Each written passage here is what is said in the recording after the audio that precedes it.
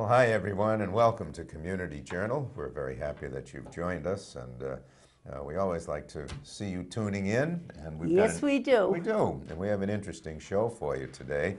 Um, interesting weather also. Oh, I hope everyone is all right out there because boy, was that wind blowing last night. it certainly was, and uh, uh, we had um, an interesting uh, weather phenomenon. Um, it's called, I forget the technical name, but I don't think I've ever seen the barometer so low. Yes, you were um, talking about that. Yeah, it was down uh, below 29. Uh, I don't think I've ever seen that in a long, long time. So you know that that is a deep depression, two weather systems coming together, and re really that's why we got all the wind. And uh, we ah. yeah, that's why we got all the wind. So we hope everybody's okay out there. And uh, hey, that's uh, that's New England and especially Cape Cod. Yes, especially this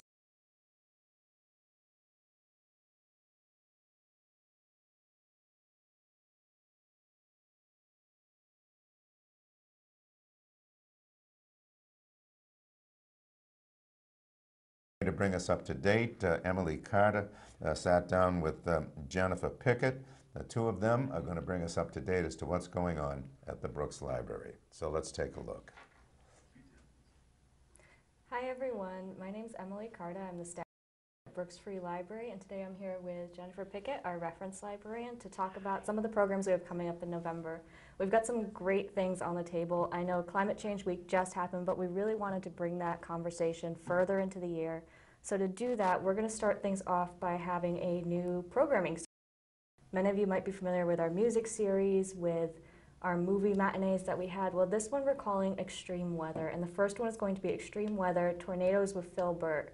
So we did have a tornado come through here in July. I know a lot of us were impacted. This is the start of looking back on that and understanding of why do these happen, um, you know, where do they come from, and Phil's going to answer some of your questions in a Q&A on it. But I'm going to turn this over to Jennifer so she can talk a little bit more about the program and, you know, Phil's background. So hi, everyone. Um, I'm Jennifer Pickett, reference librarian at the Brooks Free Library. We are really, really excited to have Phil Burt, who runs CapeCodWeather.net, which is a local Cape Cod weather site that a lot of us use on a daily basis. He's a great forecaster, great meteorologist. We are really excited to have him come and talk about the scientific aspects of what happened, it happened, how it works, if it's going to happen again, all those kind of questions. He's going to do a presentation. We're really excited. He's, he's using photos from the event that we're, we're giving to him.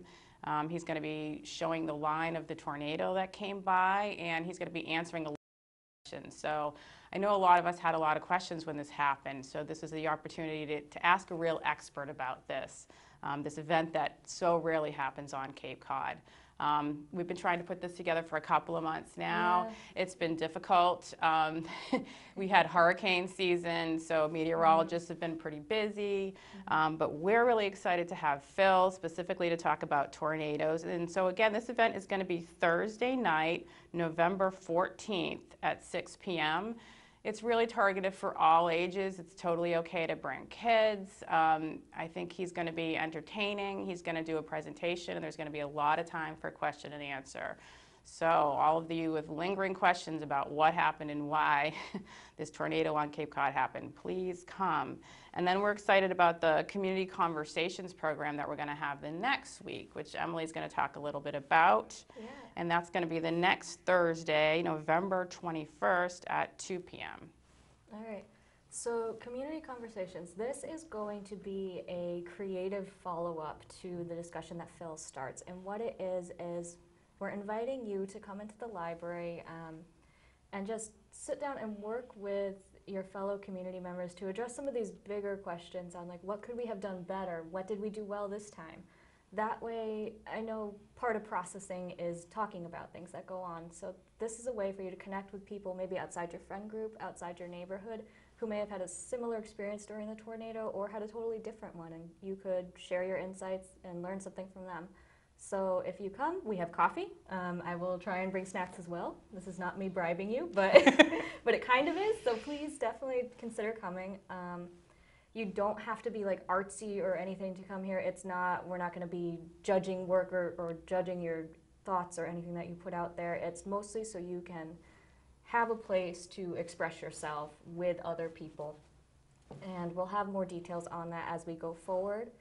One thing I do want to say though, actually, before all of this, if you do have pictures of the tornado that you want to submit for Phil to use, um, if you email them to brooksfreelibrary at clamsnet.org with the subject line tornado photos or tornado pics, if you email those to us before October 20th, we'll get them to Phil. It just needs to have that street address. That's really important so he can plot the path that this tornado took.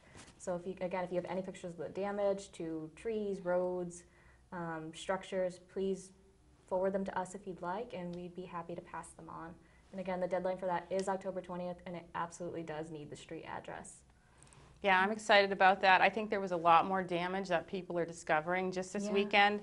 I went for some walks in conservation area in Harwich and Chatham, and I hadn't been to those places in a while, and I couldn't believe the trees that were down in some of them. So I mm. think there's a lot of damage out there. It wasn't just the path of the tornado. That's the question that I have because um, I live nearby, but I wasn't in the path of tornado, but I had a lot of damage in my yard as well. So I'm curious as to how that all works. Um, the damage that I've seen that wasn't in the path of the tornado- was, was pretty severe. So they call it straight line winds, but Right. I don't really know what that means. Yeah, and so that's one of those things that we definitely need to find out, like, what is it with a tornado? We all know about hurricanes and how big they are, and they go around in a circle, and there's a wide, um, you know, area. But tornadoes are supposed to be this localized thing, but it seemed like there were these little odd patches of winds that did a lot of damage around town. So that's kind of one of my questions.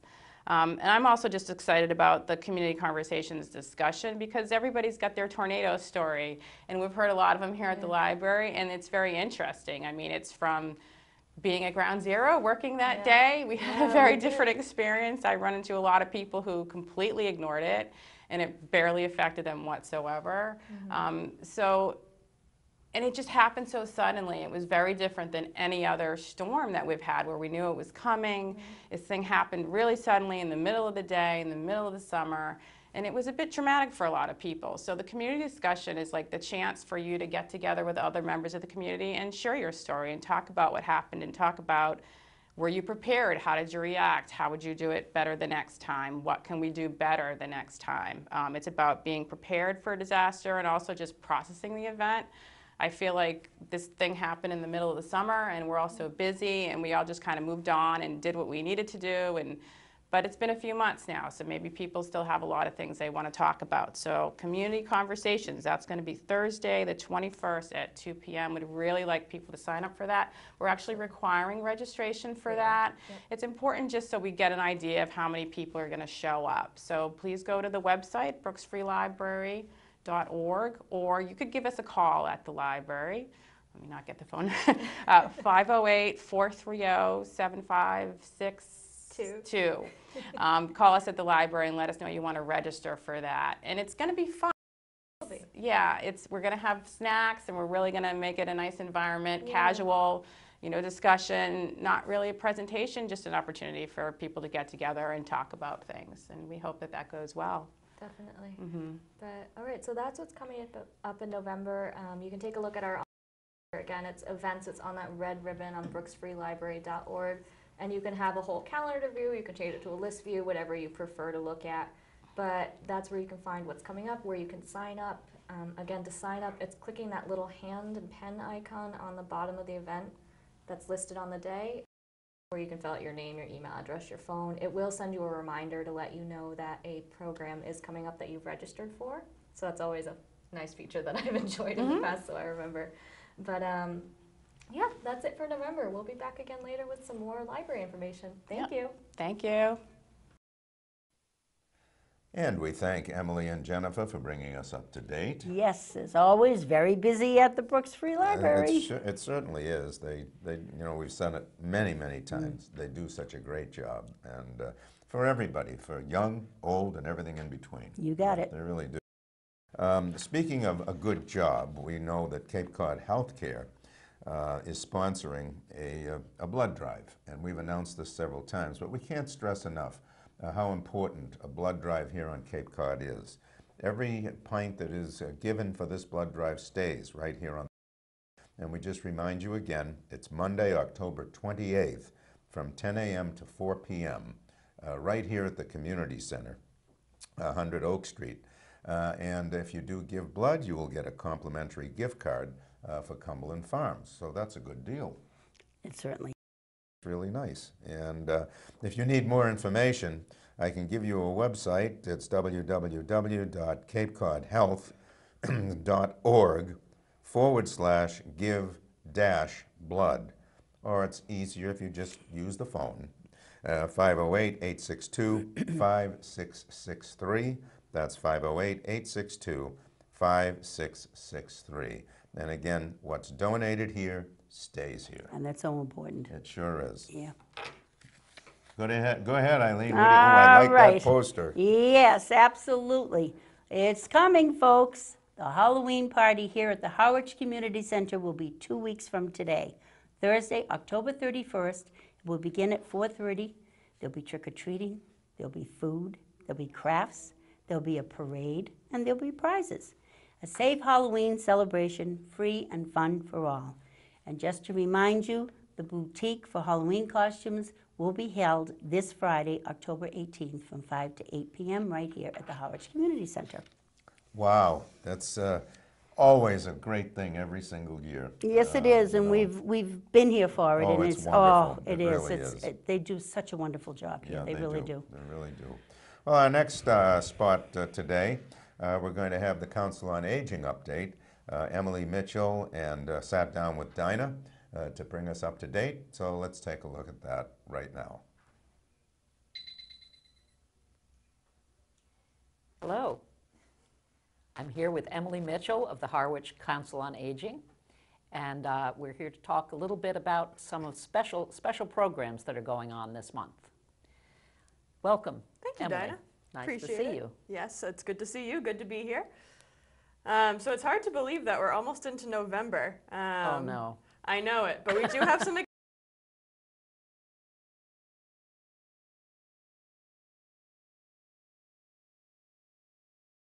On November 6th, which is a Wednesday, we are doing an event called Stars for Our Heroes. And it's a way of repurposing American flags that can no longer be flown. So, what folks do is they come in and they cut out the stars. I actually have a little example right here that I don't know if it's good to see on camera. Um, but it's a way of cutting out the stars. And then there's a little message put in the back. And then they will be distributed to military personnel and veterans on Veterans Day and in other events throughout the month. Um, so it's a, a nice way to honor our veterans and to repurpose flags that can't be flown. So we're excited to do that. We're partnering with the Veterans Agent to put this program on. We'll be providing all the supplies that you need to do it. And it's kind of just a drop in. So you can come in, you can cut out stars for 15 minutes, or you can stay for the full hour and a half. Um, so we're trying to, to get a good number cut out so we have them to distribute. So people bring their own flags? No, we will provide the flags as well. You provide the flags? Yes. If a person has a flag that they would like to repurpose? Certainly they Would can that bring- be welcome? Most definitely. Okay. Um, so we are a location here at the community center for people to um, bring in their flags that can no longer be flown. So we do have a supply of them. Okay. But absolutely, if folks have them at home, um, we'd love for them to bring them in. Okay. I think I was saying to you that I had seen what looked like a drop box Yes. for uh, flags that are no longer needed or are in good shape. So, Exactly. If you walk in the COA side entrance to the building, actually, you'll see that box pretty much right in front of you. So Okay. um, that's always there year round Okay. for folks if they want to, to properly get rid of the flag. but this is really a group activity. Yes. And you'll be able to help them figure out how to do it neatly. so- Exactly. okay. Yes, Shawnee, who works um, in the veteran, she's one of the veterans agents. Mm-hmm. This is a project she really does year round. Hmm. Um, so it's a partnership with her. So she's excited that we're doing Oh, it that's here. nice. Yes. Yeah. Yeah. Okay, Absolutely. Great. Yes.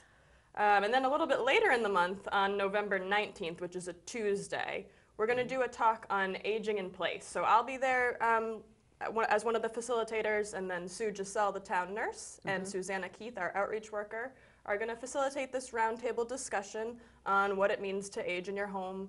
Um, so, what activities are mm. beneficial to you? Mm. What plans should you have in place? What kind of documents do you need mm-hmm. um, to make sure that your wishes are, are known and respected? So, mm-hmm. it'll be a good conversation. It's supposed to be a part one, and then a part two program, we're going to have attorneys come in and give a talk on what's the difference between guardianship and healthcare proxy and power of attorney and those types of things. That will be a different event. a different event, probably Okay. in January. So this I is um, an introduction to the topic Mm-hmm. um, and just kind of a discussion, a place for questions, and Mm. then we'll get into some of the nitty gritty legal details um, in Uh-huh. a few months. I see, okay. Yes. So, so many people uh, do want to, in fact, or hope that they will be able to stay in their home. and Exactly. such an event and uh, information could help them figure out how to do that safely. Most definitely. And we Yeah. just have a wealth of resources at the COA that supports people in doing that. Mm. And so we're just excited to make sure people know know what we have to offer and what the community has to offer. So Okay. we're excited about it. Yes. Thank you so much. Thank you. I appreciate Sounds it. That's great. And Yes. welcome to almost November. Oh my gosh, it's hard to believe, but it'll be enjoyable. Thanks, Emily. Thanks, Dinah. This is Dinah Lane for Harwich Channel 18. Thank you so much. And thanks to Emily. Yes, lots going yeah, on at the COA as well. Yeah, Emily does a wonderful job. Oh, and, she uh, does, Yeah, she yeah. really does. And, uh, okay, you have some interesting ones there. I do. I have lots of things to tell you about today, so get out your paper and pencil, because here I go. The Cape Cod Chamber Orchestra, with Matthew Cinto as the music director, will be presenting Haydn the Pirate in collaboration with the Whydah Pirate Museum on Sunday, October 20th at 3 p.m. at the Pilgrim Church here in Harwichport. There will be a pre-concert talk at 2:15 p.m. and Tickets are $30 in advance or $35 at the door. Children and students are free. So if you're interested in getting tickets, please call 508 432 1668. There's also a website, and I will tell you what it is www.capecodchamberorchestra.org. And again, the phone number is 508 432 1668. And you know, the program is featuring some great classical Oh, it music. and, is. uh, Yes, yeah. thank you for bringing that up, Jack. it really is. Um, and what a great place to listen to Oh, music. I yeah. know. Yeah, Good should be- acoustics there. That should be a good take. Yes. Yeah. Okay, what else? All right. Well, as I mentioned before, Halloween is coming, guys. Friends of the South Harwich Meeting House present Halloween Unhinged, a unique concert experience. On October 26th, will be at 7:30 p.m. Halloween is not just for kids anymore. At 2 p.m., you can bring your carved pumpkin for judging. Grand Pumpkin Honor Parade will be held during the concert itself. Meet their historic guests, ghosts, excuse me, on tours through the cemetery by lantern light beginning at 6 p.m. This concert will be featuring the talents of James Byrne and Joseph Marchio. There will be music, vocals, and special effects. Oh, boy. Yes, one show only, don't miss out. $20 in advance at halloweenunhinged.brownpapertickets.com, or you can get them at the door. Again, Halloween Unhinged dot halloweenunhinged.brownpapertickets.com or at the door. And the South Harwich Meeting House is at 270 Chatham Road in South Harwich. Uh, Very good. An interesting talk that's going to be taking place uh, on November 2nd. Um, This is Outer Cape Storms and Ship- Shipwrecks Walk Saturday. This is, uh, this is a rather interesting one. It's co-sponsored by the Harwich Conservation Trust and the Eastham Conservation Foundation. You can join, you'll join uh, historian and author Don Wilding on an interactive uh, guided walk, or an interpreted guided walk, Nauset Light Beach to the Coast Guard Beach, on Saturday, November 2nd, to explore the coastal storms, historic shipwrecks, and daring rescues along the outer beach of Cape Cod. Travel across more than three centuries, so they're going to take in a lot of history with this, and um, it should be quite interesting. Now, the cost is $15. The time is 10 a.m. to noon, and it's Saturday, November 2nd. The rain date is Sunday, November 3rd. And the walk distance is one and a half miles, mostly in beach and sand. So you have to be aware of that before you uh, uh, go, but uh, it should be a very interesting. It uh, sounds and wonderful. talk. Oh. Yeah, really uh, We have a daughter that would really, really love that. Oh, uh, yeah, She's she into was- shipwrecks and pirates. Is she and- ever? Yeah, Yes. yeah, no, that sounds really good. So again, that's Saturday, November 2nd, rain date, November 3rd. Yes, and I would wear very good walking beach shoes. Oh, absolutely, yeah. Uh, Senior citizens, you are invited to enjoy a Thanksgiving turkey dinner on Thursday, November 14th, 2019, at 4 p.m. at Monomoy Regional High School, 75 Oak Road, Harwich. Please RSVP 508 815 5849. That's 508 815 5849. The seating is limited. Compliments of the Monomoy Regional High School Wellness Department. Hmm. We gather together to celebrate the season. What a nice thing to do. isn't that nice? That's really, lovely. that's really very, Yeah. very nice. Yeah, okay. Child's Play, the final tour. Ooh, Well- that sounds interesting. Yeah, it sure does. Bob Weiser, the Cranfest music director, sat down with Dinah to tell us about this. Hmm. Hmm. Rather intriguing. I, I want to see what this is about. Perhaps we should listen up and stop talking. I think we should. Let's take a look. Hello, I'm here with Bob Weiser. Delighted to be talking with him about Child's Play, the final tour, which is about to come to Harwich on November 21st. Bob, welcome. So great to have you here. This sounds like an amazing, amazing concert. I was so excited to read about it. It's the second time we brought this troupe to Harwich, and the reason we're doing a repeat is because it's the final tour. Ah. After 30 plus years, this group of musicians, hmm. some of whom probably weren't born when the first tour went out on the road. Right, right. Bob Childs is a violin maker in Cambridge, mm-hmm. and an extraordinary number of very talented performers play violins that he made And by I- hand, yeah. the old-fashioned way. You know, he may not be Stradivari, but he makes pretty nice violins. Right. And I understand that um, uh, a lot of them are going to be playing in this concert. And Well, as all well of as the, him. all of the right? violins that are going to be played in the concert were made by him, Yes. and the violas. Yes. Oh, Um,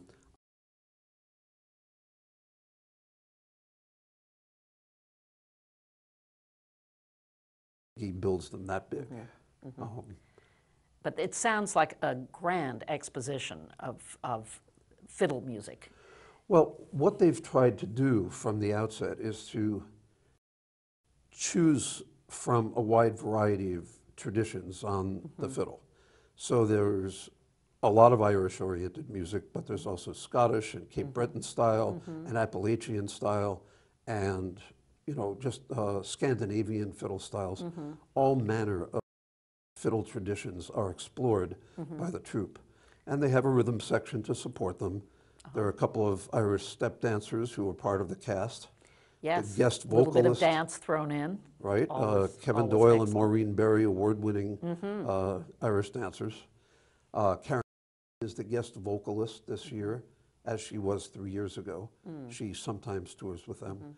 Unfortunately, Aoife O'Donovan, who uh, just won the Americana Music Award for Best Group with her group I'm With Her, she's performing in the New York performances with but I don't think she's coming to Harwich.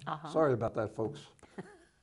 Well, we'll miss her, but I'm sure it's going to be fabulous. How many performers are there in all in this group? There are about two dozen on stage, I believe. Um, I think it's I think it's dinner for 27 or 28 altogether. Mm-hmm. Um, the crew, mm-hmm. and this is a self-contained program.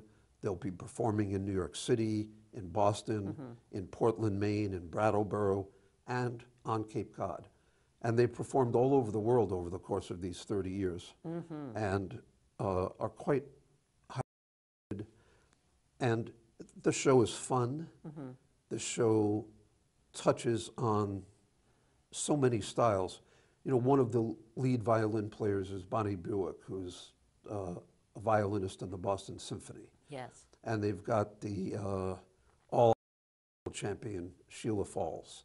And they've got Katie McNally, the young uh, Scottish fiddler, um, who's the New England fiddle champion. And they've got Hanneke Cassel, who was the U.S. Scottish fiddle champion a, a few a decade or so ago. Um, so there are a remarkable collection of brilliant players.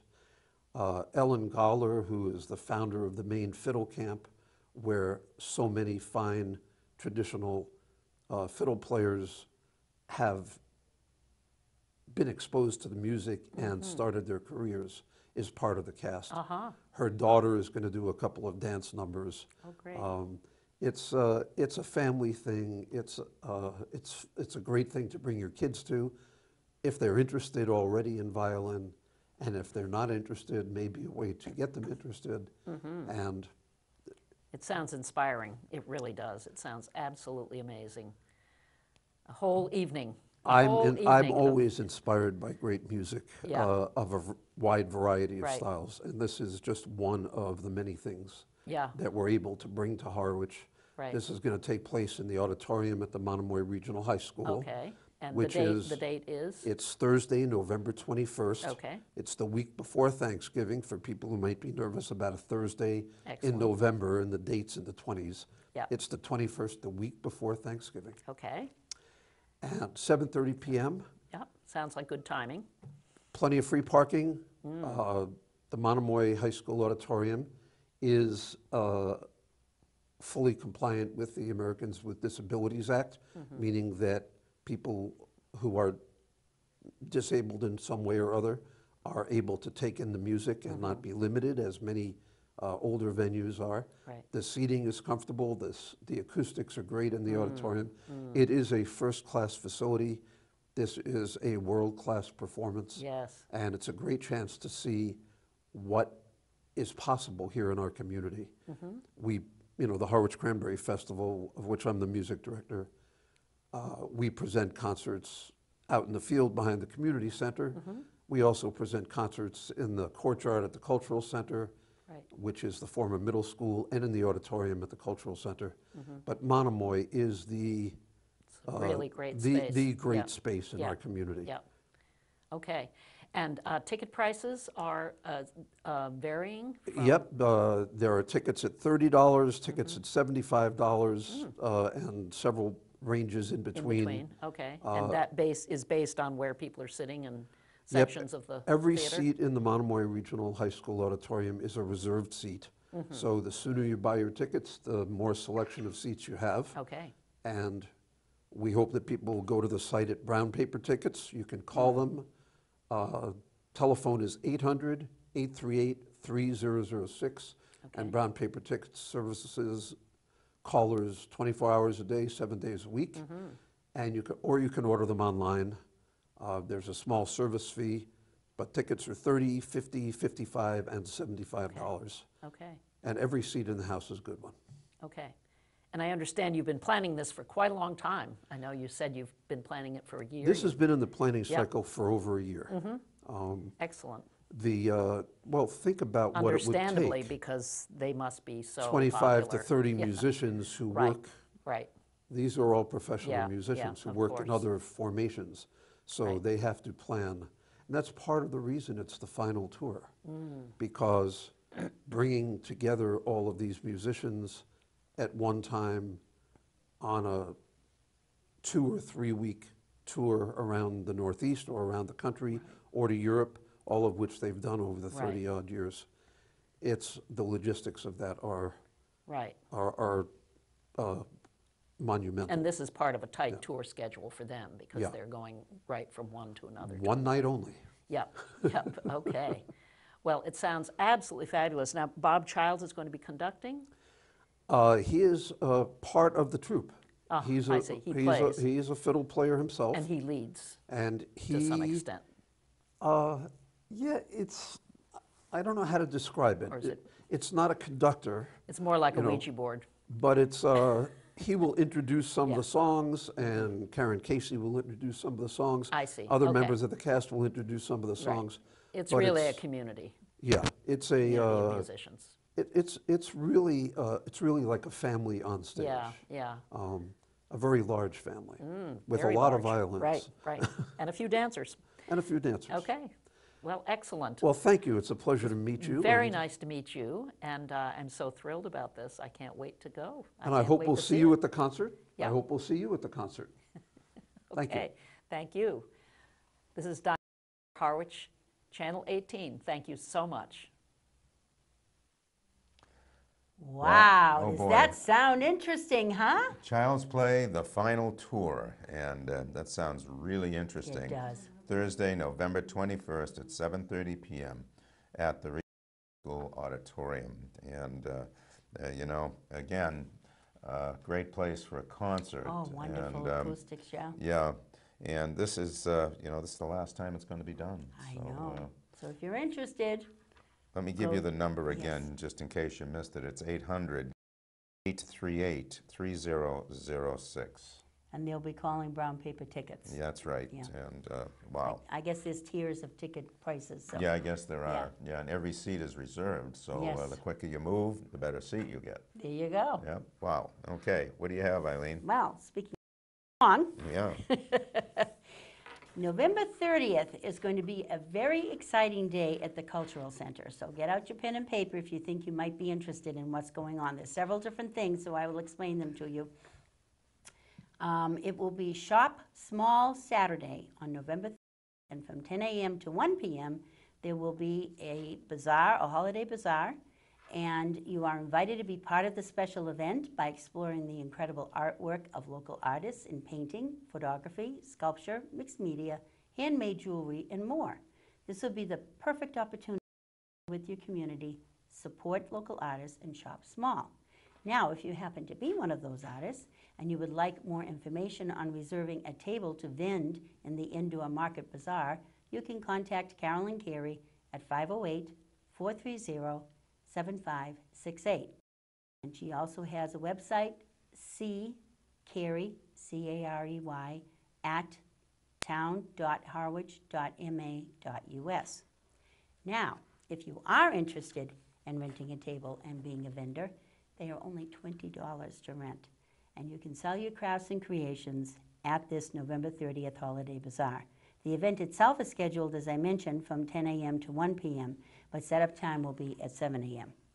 Now, the same day, the same place, there's going to be a holiday wreath decorating workshop, obviously in a separate area at the Cultural Center.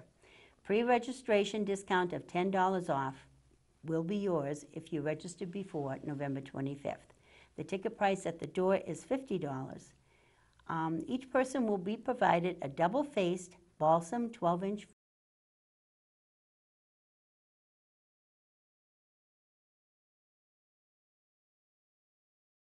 drums, gift boxes, and so forth. Laura will guide each person in a fun, creative way on how to embellish and adorn their own wreaths while fostering their own creative flair.